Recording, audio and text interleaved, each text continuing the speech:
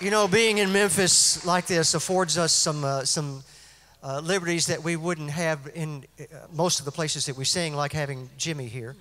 Um, and a lot of you know, know all this already, but uh, just for those of you maybe tonight's your first night and you don't know a lot of what's gone on the last few years with us. When Jimmy made the decision to retire about six years ago, we had the daunting task of trying to find someone to fill those shoes. Um, and uh, God provided a young man who just stepped right in and, and just took off running and did a, did a fabulous job. And Mike, uh, just a couple of years ago, was, uh, was diagnosed with ALS. If you were here Thursday night, you saw a miracle as he came out on stage and sang for you. And I know a lot of you would love to hear him sing again. Uh, so would you make welcome again, Mr. Michael Helwig?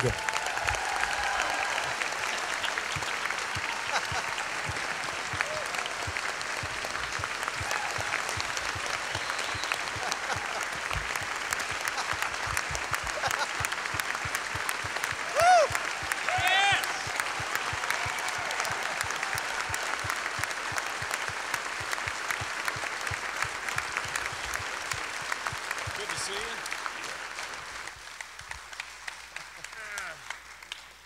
Whew. That's a long way. Now that I'm winded, let's sing a song.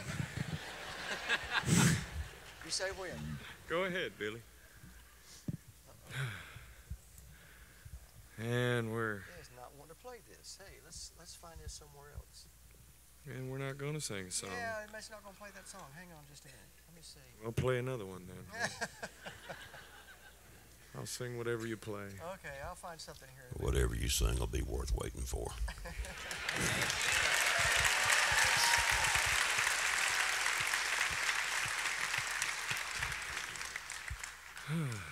Yeah. Well, should I tell a joke, Billy? What do you think, Wayne? Well, you really need to hear this song. Hang on. Just tell a joke while I while I do this. The band is not cooperating. Well, I got a dirty joke to tell No, no, no, no, you. No. got, it's the only one I can think of right now. It was a white horse that fell in the mud. Okay. Let's do this. Hey, that's We got a computer that's kind of dinking with our computer. Y'all stop that. Let me see if I can X this out. We could just sit here awkwardly Yeah, waiting. we while, could he- do that. while he's doing that, I will tell you a little story real quick. It has to do with our product.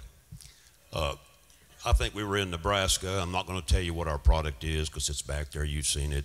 And uh, if you haven't, come by and see it tonight.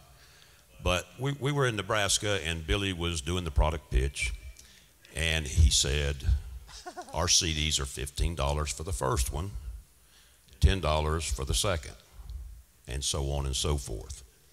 And so when we got through singing, I went back to the table and waited, and this little lady came up. She was about this tall, had really, really gray hair, and a walker.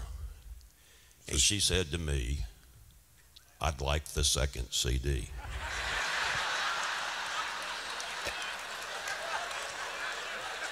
And I said to her, ma'am, I think you misunderstood. And she said, no, he said the second one is $10. And I said, right, but you have to buy the first one for 15 and the second one is 10. She said, give me number two. I did. No sense in arguing. Hey, I, th- I think we've I think we've got this working, and and the reason I know it's kind of an odd situation to have this happen in the middle of your set, but this song is too good, and you need to hear this guy sing it. So thank you for your patience as we uh, uh, make this happen. Here we go. The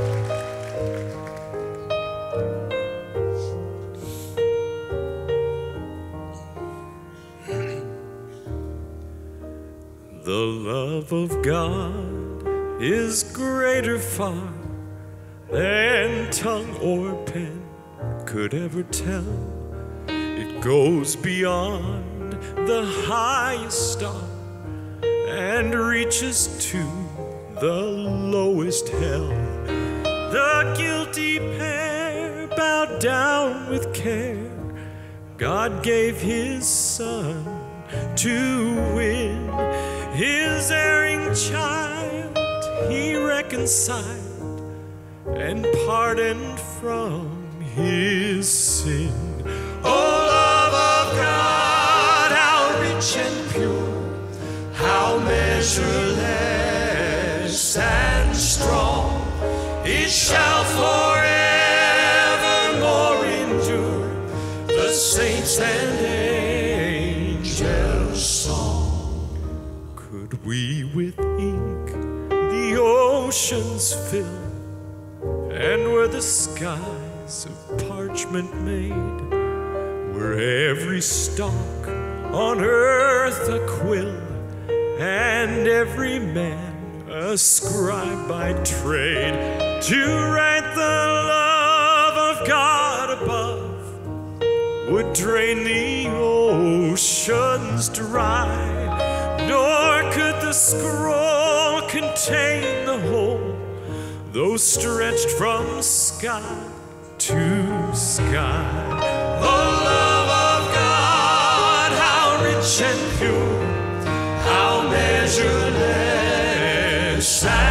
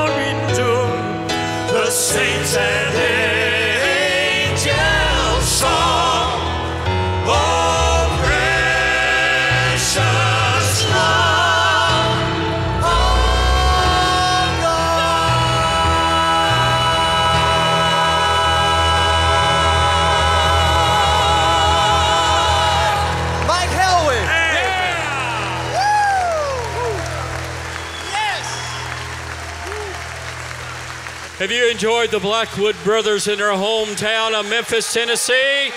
Let them hear from you. Thank you. Stay out here. Thank you. Great job.